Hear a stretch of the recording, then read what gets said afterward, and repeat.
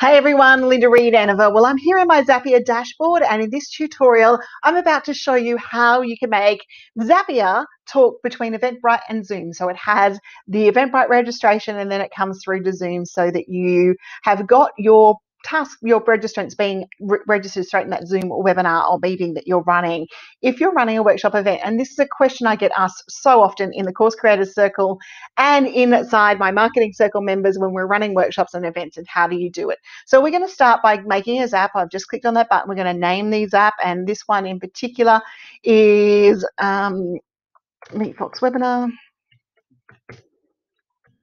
TV to Zoom. Okay, so that just lets me know what it is. No one's going to see that, so you can title that whatever you would like.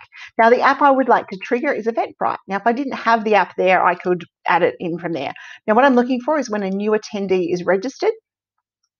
And Yes, when new attendee is registered, we're just going to click the continue button here. We, then we've got to look for the account. So it's going to look for the account. And then we're going to get brought up a series of fields. So the customized attendee. So what we're looking for here is we're going to get the organization. So you might have more than one organizer.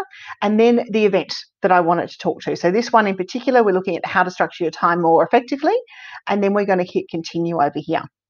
Now I've got the Zoom webinar already done. All I need to do here is test the trigger. Uh, so I'm relying on the fact that you've put the two things together. I've tested the trigger, it's ready to go. We're just going to hit the continue button and then we're actually going to head over here to our next step. And our next step in here is Zoom. And we're going to hit the little Zoom button over here. And our action is we're wanting a new webinar registrant because this is a webinar, but you could use meeting. If you were just using Zoom meetings, you definitely could use Zoom meetings in there. And then what we're aiming to do is the privacy stuff is all good we need to just click in here. I must have clicked on the privacy link. Need to click on the account, hit our continue button, and then we can choose our value. So we're looking for the net, the upcoming webinar. So that one was once again is how to structure your calendar. So we just type that in. Then we type use the fields to work together. So the fields are actually bringing in information from the webinar. So the email address comes in from Eventbrite.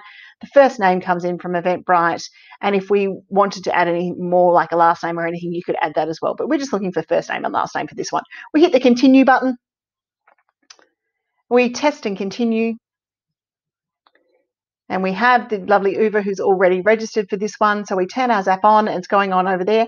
And now if I head over to the webinar information in my Zoom window and I hit the refresh button, you will actually see we have one registrant in the Zoom button from the Eventbrite registry ready to go. And that's how you make Zoom and Eventbrite talk together so that you you can run your lead pages and your webinars through your through your Eventbrite account just like we are here.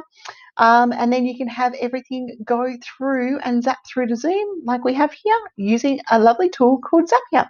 And I'll pop a copy of this link in the tutorial with you so to help you just make a copy, just grab it and work with it straight away. Okay, thanks guys. See you next time.